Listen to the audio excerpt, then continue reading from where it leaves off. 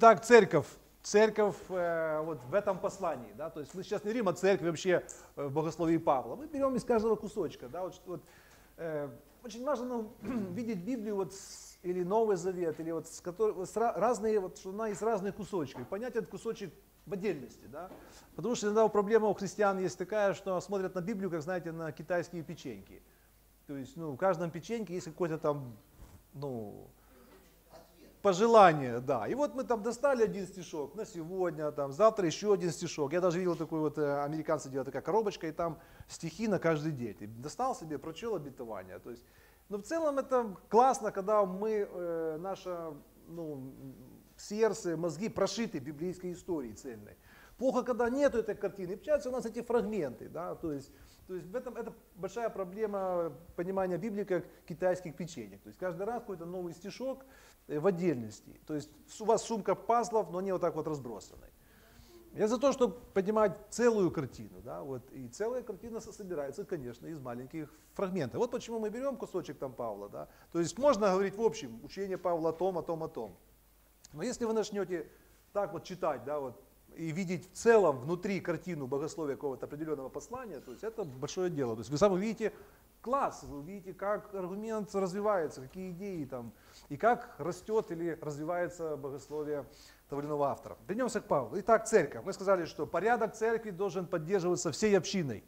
Это община. И вот интересные такие моменты, что в этом послании, кажется, есть такие слова, которые, ну, Например, всегда радуйтесь, непрестанно молитесь, за все благодарите, духа не угошайте, прочеств не презирайте. В общем, все нормально. Но здесь как бы такая вот напряжение между духом и дисциплиной, духом и порядком. С одной стороны, мы говорим, что дух должен проявляться, то есть еще бы, конечно. Но с другой стороны, есть такой момент, смотрите, как э, предостерегающий, да, все подвергайте испытанию.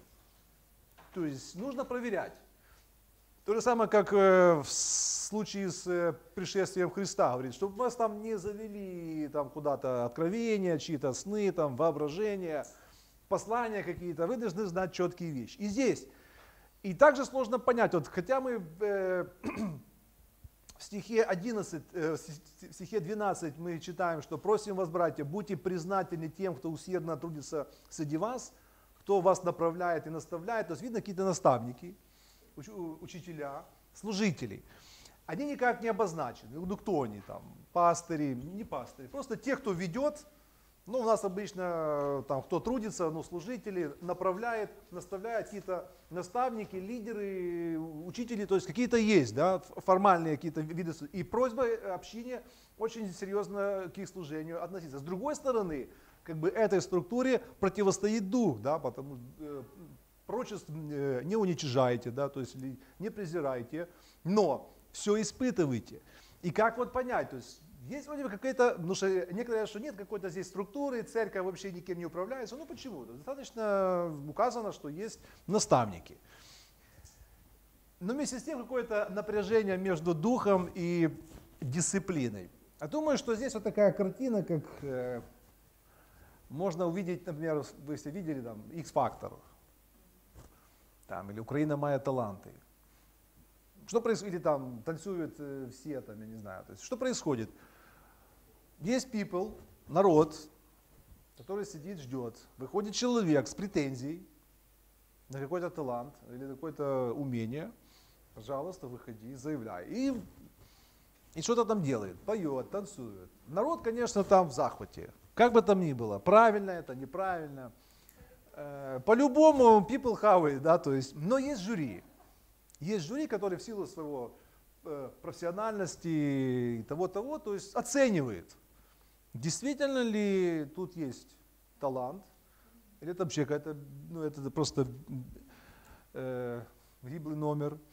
Э, либо там есть зернышко какое-то, ему говорят, придешь там вечером на хореографию, да, или все, да, да, то есть это нужно развить. То есть они уже видят, где вообще отсутствие чего-то, где, ну, просто класс и супер, и где, или где просто вот есть это зернышко, его нужно просто как-то развивать. Но эта модель немножко должна указывать на то, что может, то, что Павел о чем говорит, что в принципе позволяйте, да, то есть каких-то ограничений, может, те времена действительно еще такой богословий, догматик не было, которые вообще ограничивали людей.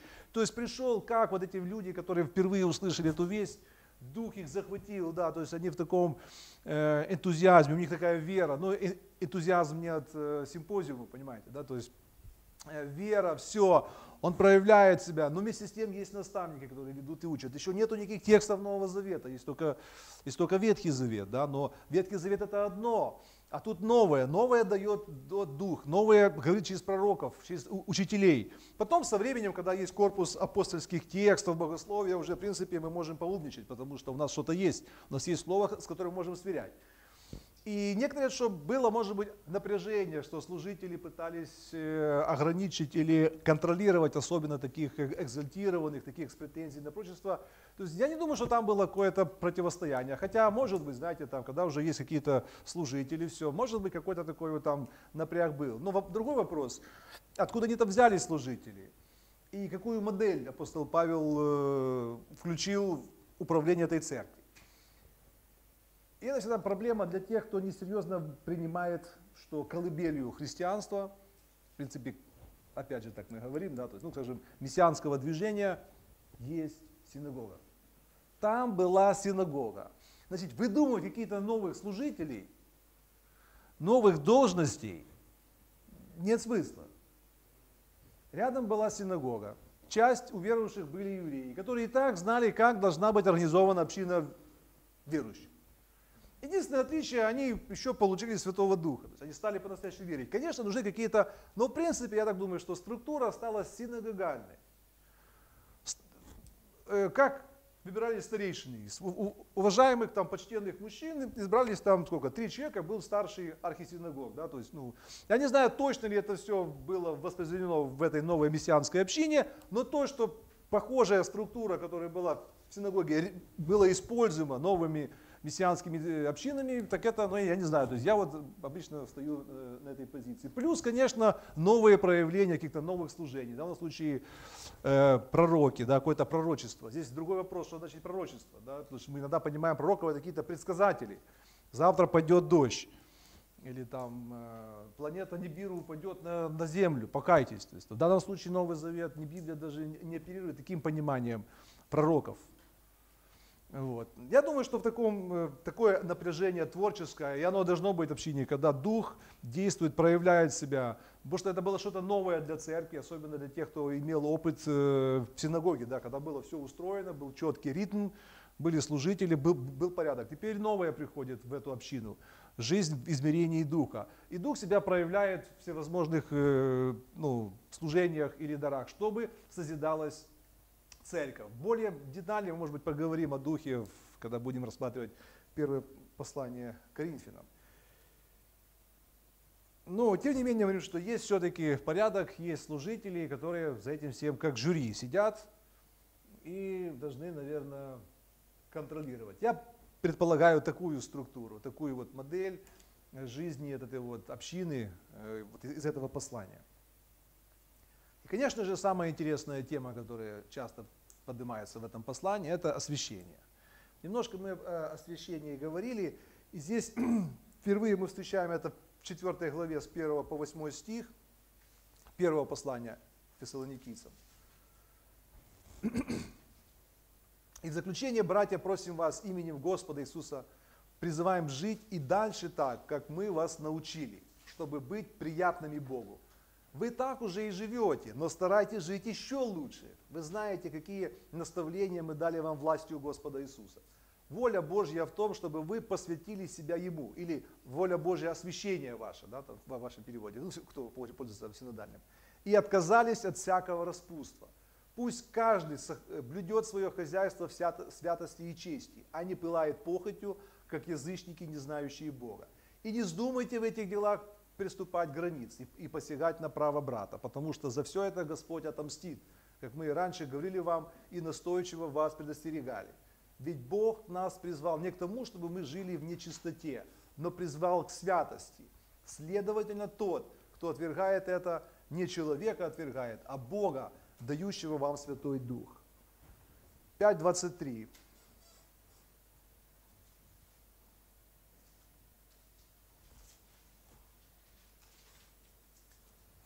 Пусть сам Бог, источник мира, осветит вас полностью. И пусть все вас, и дух, и душа, и тело, сохранится непорочными вплоть до дня возвращения Господа нашего Иисуса Христа. И 2.14 из второго послания мы читали о Духе. Для этого, э, вернее, 13.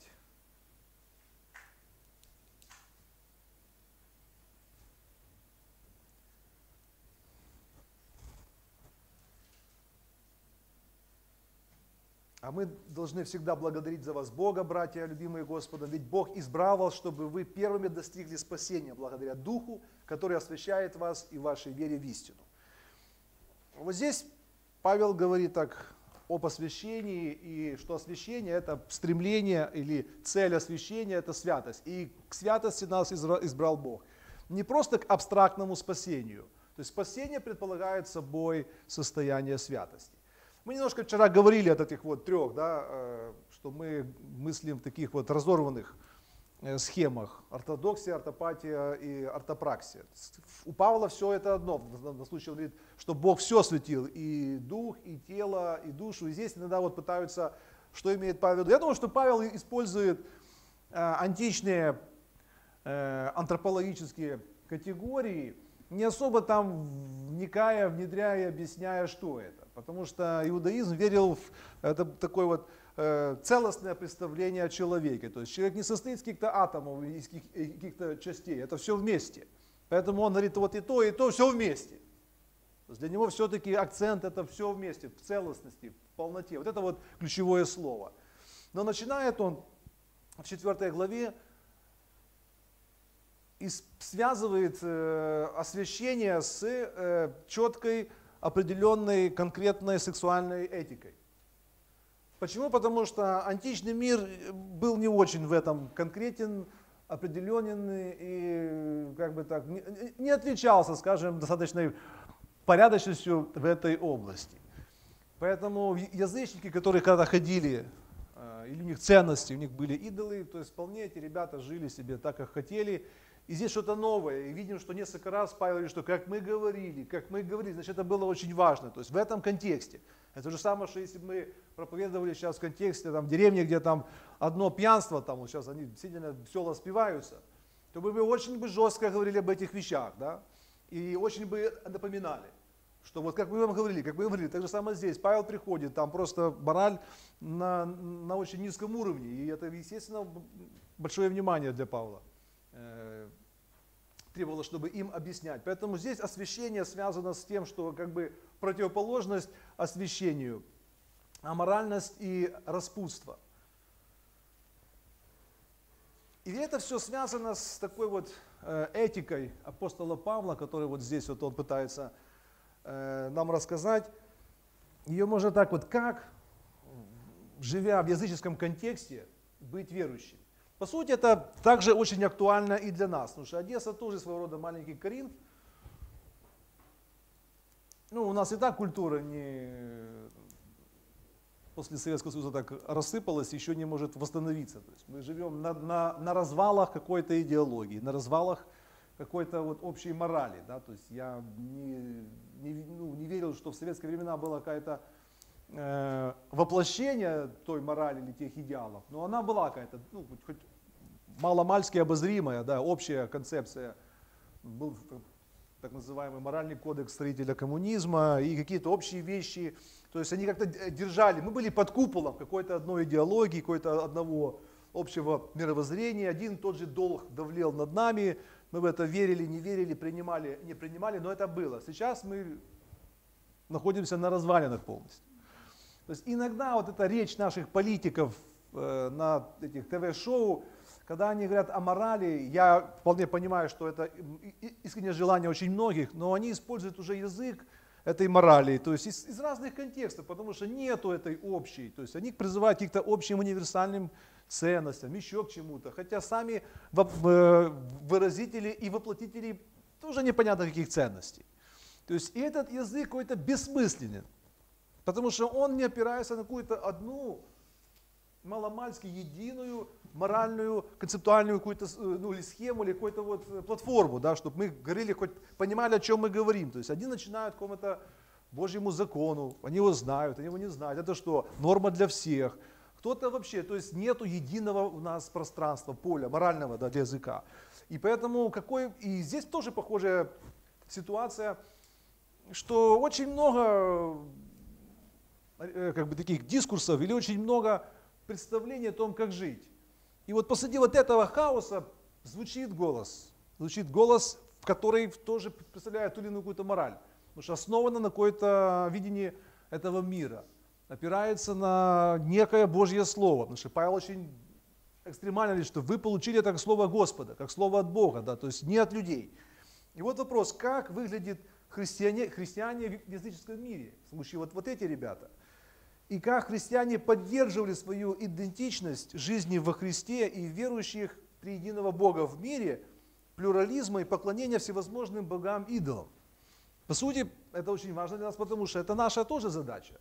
Мы тоже живем вот в таком мире, который все больше и больше наполняется всевозможными идолами. В 4 главе Павел пишет, вот мы опять ее прочтем. В заключение, братья, вот что-то он им рассказал, да, вот три главы рассказал. В заключении, братья, просим вас именем Господа Иисуса.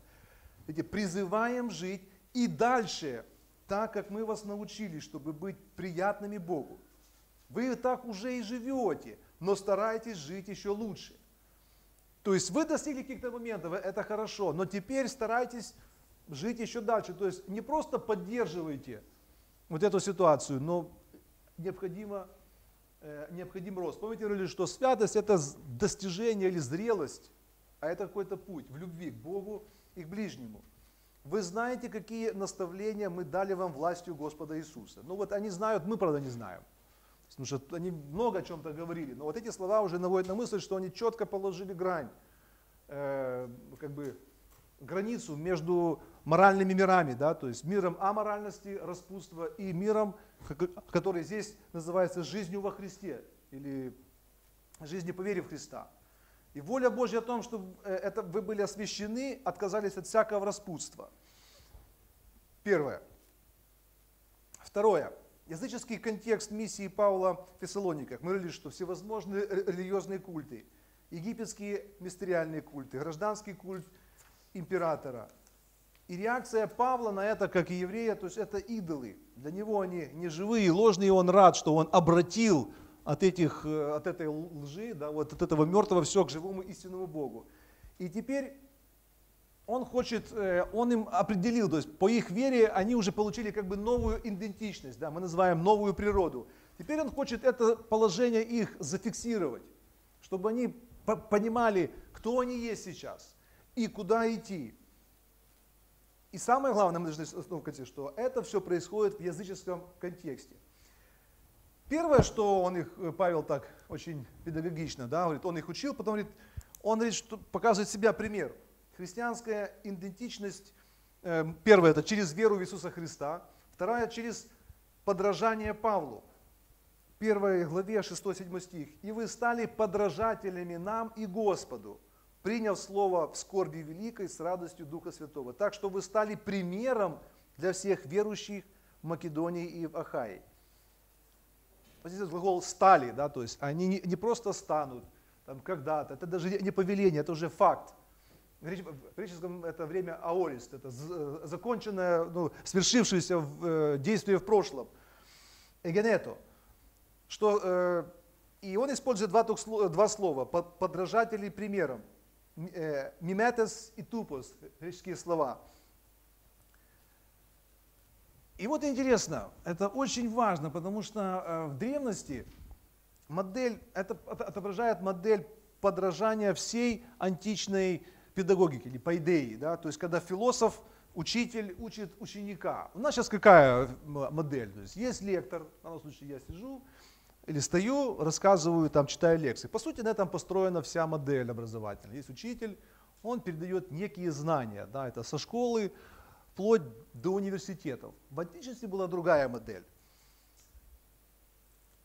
Тогда был личный пример. Например, э, о позитивности личного примера писал еще философ Сенека. Вот смотрите его слова. Живой голос и личные отношения помогут больше, чем написанное слово. Человек доверяет своим глазам больше, чем своим ушам. То есть, когда видит, по сути, так оно и есть жизнь. Мы можем слушать проповедников там, и кого-то еще слушать, но слушаем политиков наших, но глаза что видят. Путь длиннее, кто слушает, когда следует наставлению. То есть путь длиннее, кто слушает, э, подожди, путь длиннее, кто слушает, когда следует наставлению, и короче, когда следует примеру. Так, такая же самая модель Иисус и ученики. Иисус не просто читал им лекции, они всегда были с Ним. Как Он учил, как Он относился, как Он говорил. То есть они постоянно были с учителем. То же самое Павел, ну почему это? Потому что есть, это очень важно для Павла, он говорит о своем примере, радуется, что они подражают, потому что есть негативный пример, всяческие шарлатаны. О чем суть шарлатанства, даже интеллектуального? Они много говорят, но ничего не делают, не поступают. Это вторая глава с 1 по 12 стих. Ибо вы сами знаете, братья, вот Павел просто берет, показывает свой пример, сами знаете, братья, о входе нашим к вам, что он не оказался тщетным. Но пострадав перед тем и потерпев поношение, как вы знаете, в Филиппах, мы дерзнули в Боге нашем возвестить вам Евангелие Божье среди великой борьбы. Ибо наш призыв – не от заблуждения, и, и не от нечистоты, и не в лукавстве. Но как мы были подвергнуты Богом испытанию, чтобы верено было нам Евангелие, так мы и говорим, не людям угождая, но Богу, испытывающему сердца наши. Наши. Ибо мы не приходили никогда со словами лести, как вы знаете, ни с тайной корыстью, Бог свидетель, и не ища славы человеческой, ни от вас, ни от других. Как Христовые апостолы мы могли бы отяготить вас, но мы были тихи между вами, подобно как кормилица лелеет своих детей. Так в сердечном устремлении к вам мы хотели передать вам не только Евангелие Божие, но и свою жизнь, потому что вы стали нам дороги. Ибо вы помните, братья, труд наш и изнурение, ночью и днем, трудясь, чтобы не обременить кого из вас, мы проповедовали вам Евангелие Божие – вы свидетели, и Бог, как свято и праведно и безупречно показали мы себя всем верующим. Вы это знаете, как каждого из вас в отдельности, словно отец своих детей. Мы увещевали вас и ободряли и запинали, чтобы жить вам достойно Бога, призывающего вас в свое царство и славу. Смотрите, один из аргументов, нам покажется это немножко таким, может быть, нескромным, да, когда Павел, э, что ну как-то мы в другой культуре, да, себя как пример, особенно вот если мы в таком очень богоцентричном богословии, говорим, что мы грешники, мы люди, говорим, на людей не смотри, на меня не смотри, как это даже есть такой стишок, не смотри на людей, э, приткнешься, смотри на Христа, спасешься, что-то вот такое вот, знаете, вот. И на самом деле Павел здесь смело перед, и это было очень важно, и он показывает реальность, что мои слова, наши слова, смотрите, как мы пришли к вам. Все, что мы говорили, мы делали так. Ну, как минимум, это возможно, то, о чем мы говорим. Дальше, что здесь нету никакого лукавства.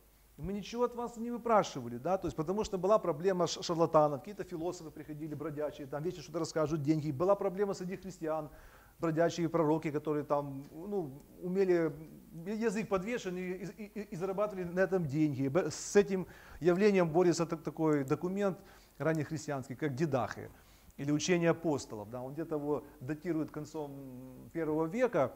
Иногда, когда не был принят канон Нового Завета, его даже включали как бы в канон Новозаветный. Там. И там есть это явление. И там написано, что пророк три дня побыл вперед, дальше пинка ему, потому что были такие образованные, язык подвешен, школа, школы риторики было тогда, можно было научиться хорошо, красиво говорить. Это такое было и в христианстве. Вот сколько рассказывали братьев из времен гонения, что вот были такие ребята, типа братья, приходили, скажут классную проповедь. Если человек образован, то есть он умеет красиво говорить, а люди верующие, верят, о Боге говорит, все. А он там неделю живет, там, кушает, его кормят, пользуется братским христианским э, ну, радушием, да. То есть и люди себя потом уже начали вычислять. То есть это были реальности. Может сейчас не так, но тогда это была проблема. Поэтому, а как отличить? А очень просто, как отличаются слова лжи и правды. Смотри на меня. Что, мне, что я делал не так? Потому что шарлатанам тяжело делать то, о чем они говорят. Он говорит, вот, поэтому это очень важный пример. Это как минимум. Как, э, второе. Скорее всего, там же началась заварушка против Павла. Он, он уехал. На христиан начали гонения, в том числе и евреи начали наседать и обвинять Павла в какой-то, ну, каких-то какой-то корысти, еще в чем-то. Павел в чем? Смотрите, то есть наше слово, как слово э, Господне. И то, что он начинает, что вы приняли слово, да, с явлением силы. Это не убеждает?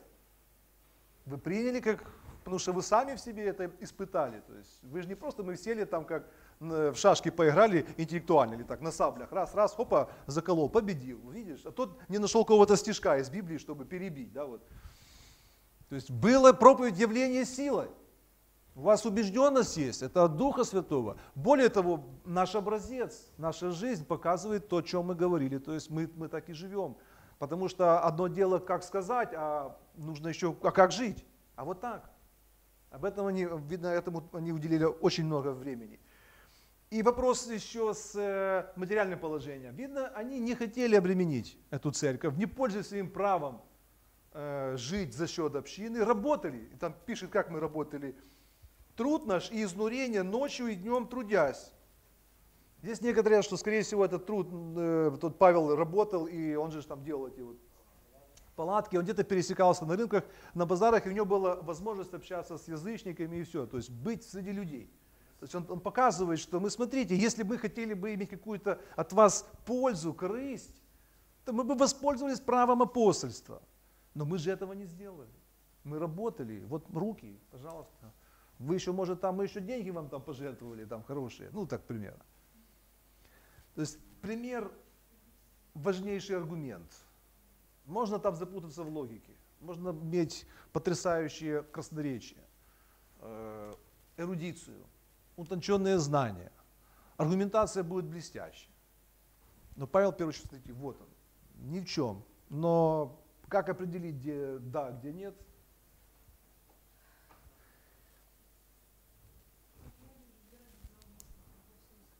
Да. Вот поэтому вот, э, видите, там была такая полемика, Павел показывает, вот, вот оно.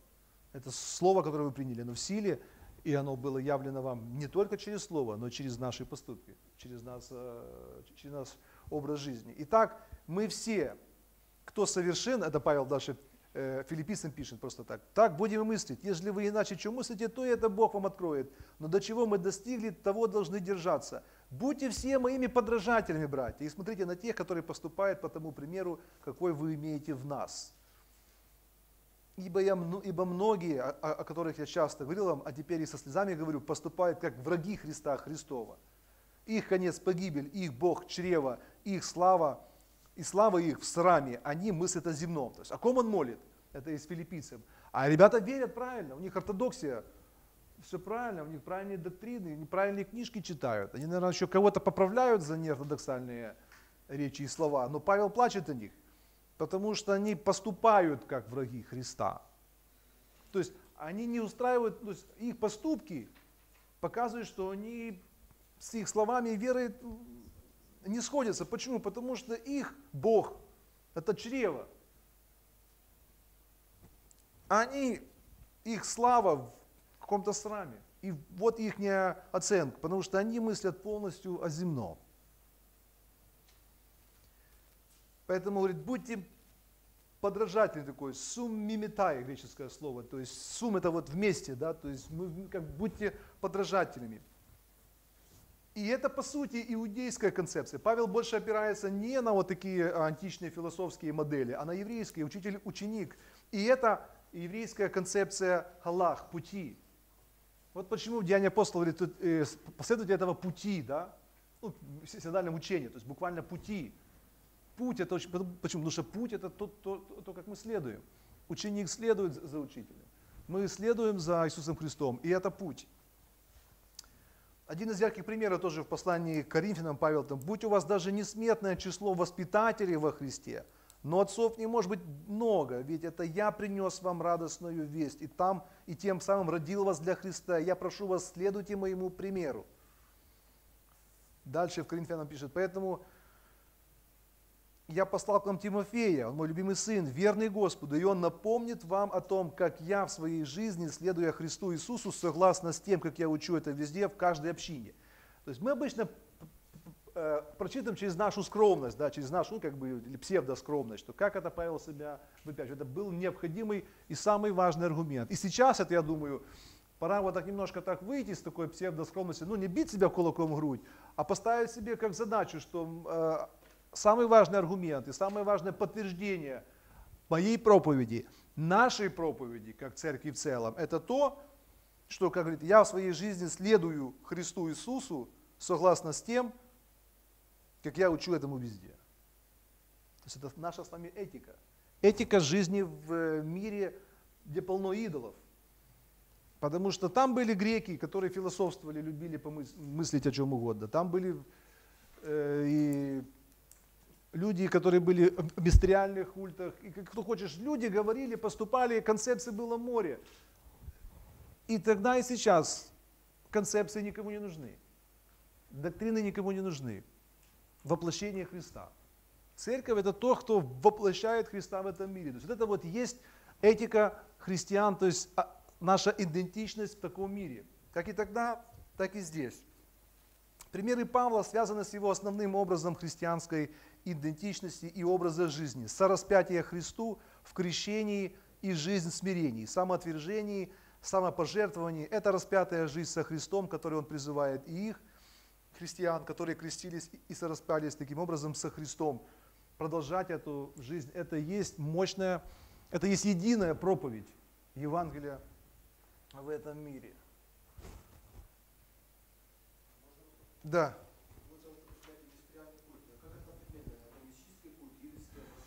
Ну, мистер, ну, мистика и мистерии немножко... Мистериальных культах их было много. То есть э, люди как бы что-то похоже на братство, где классы не имеют никакого значения. Люди входили в какое-то посвящение одному Богу, через какие-то действия, инициации, они как бы переживали какую-то реальность. Вот это, в принципе, был хороший такой психотренинг для античного мира, где можно было забыться от э, ну, повседневной жизни, от рутины, и где сливались ну, границы между классами, то есть такого нигде ну, в обществе ну, не было. Но там вот, ну, не всех культах, то есть можно было расслабиться. Были вот культы, то, что Дионисия, то есть очень много. Вот это мистериальный культ. Вот такое маленькое послание э, к фессалоникийцам, то есть на Колоссянам у нас уже мы завтра, надо будет сжато очень, то мы так Э, завтра мы продолжим послание Колоссян, э, жизнь церкви на перекрестке учений. Да, вот немножко таких, э, с такой стороны посмотрим. Маленькое послание к фессалоникийцам, маленькая церковь, только началась, только услышала Евангелие, только первые всплески веры, только увидели апостолов, да, только начали чему-то учиться, только начали свой путь, сразу же подверглись серьезным преследованиям и гонениям. Так что Павлу пришлось оттуда. Но из, этой, из этих писем видим, что слава о них, то есть известие о них, оно очень мощное. При том, что не было такого, знаете, масс-медий, то есть ну, вот этих вот средств э, коммуникации, телефонов, интернета, э, что, что, что сейчас очень э, прикольно, церковь толком-то ничего не делает, но так распиарит себя, такие ролики наснимают, такие фотографии там наклацают сейчас, ну, ну сотни, заходишь на какие-то сайты, там ну, просто в шоке, то есть так можно себя, дали кому-то кусочек хлеба, уже сняли целый фильм о милосердии, там, отдали кому-то там рваные джинсы, то есть мы, мы одели там э, всех бедных, и вот это вот такое увлечение пиаром, знаете, вот мы, о том-то и дело, что эта церковь себя не рекламировала, Павел, помните слова, Павел говорит, я говорит, повсюду слышу о вас, не слышу от вас. Я не смотрю ваши ролики, я не смотрю ваши фотографии там на Facebook, на группа там какие-то, все. Я слышу о вас, о вашей вере, о вашей любви. Это, это класс, при том, что вот, при том, что у вас серьезные проблемы, у вас гонения. Он их ободряет, что своим примером, примером Господа Иисуса Христа, что в какой-то степени это и, и, и нормально. Такой весь мир. Поэтому церковь для нас это большой пример, большое, большое ободрение, как делать так, чтобы о нас говорили, но мы при этом никому ничего не сказали. И Павел показал, как это можно делать, когда мы то, что говорим, то и делаем. Это сложно. Я знаю, обычно так и смеюсь, когда говорю проповедникам о себе, что у нас такая проблема проповедников. Наши ноги не поспевают за нашим языком. То есть он, он очень далеко, и мы пока дойдем туда. Но это проблема. Вот. Первое, да, церковь нас это учит. Второе, мы увидели, что Павел, его пасторская забота утешить. Утешить тех, кто вот страдает, да. Утешить чем? Верой, даже надеждой пришествия в возвращение Иисуса Христа. Это должна быть наша надежда. Новозаветнее повествование или библейское повествование, библейская история заканчивается такими словами. «Ей, Господи, гряди». Это молитва говорит, Господи, да пусть придет уже Твое Царство, пусть уже будет Твоя воля на земле, как на небе. То есть это мы, наше нормальное состояние, когда мы ждем, мы ожидаем, потому что э, мы должны быть активны, мы служим, да, но мы все равно хотим ну, чем старше становится, тем больше этого хочется, когда молодой, потому что много планов. Господи, ну ты приходи, ну так чуть-чуть, подожди, там, мы, мы тут еще тут что-нибудь да сделаем. Вот, поэтому это пример для нас утешения. Вернуться, может быть, в эту вот первую или юность веры, или молодость, когда мы восторгались Христом, особенно когда Его пришествием. Бывает так, что мы к этому привыкаем, мы к многим вещам привыкаем, которые нас... У меня был как-то э, разговор, с одним человеком, говорит, вот что-то братья, они уже не так проповедуют, не, не цепляют уже так, раньше так я плакал, вот сейчас не плачу. Да, я говорю, ну я тоже, когда впервые открывал Новый Завет, например, читаю Евангелие, и там, например, читаю, Иисус сказал, и я плакать начинал. Просто этих слов, Иисус сказал. Потом один раз, пятый, десятый раз, я уже не плачу от того, что от слов Иисус сказал. Я уже плачу от того, что Он потом сказал. То есть, понимаете, да? То есть мы привыкаем, а потом перестаешь плакать и от того, что Он сказал. Да? Вот, поэтому вот мы, мы такие вот, мы, мы, мы привыкаем. Но мы, когда возвращаемся вновь к Писанию, к, к нашей надежде, видим, да, утешение, мы в многих вещах получаем утешение. У нас есть надежда на многие вещи. Но это, ну, нормально. Но если то, всего лишь только это наша надежда, и это утешение, то скоро этих утешений не хватит. Печеньки китайские закончатся.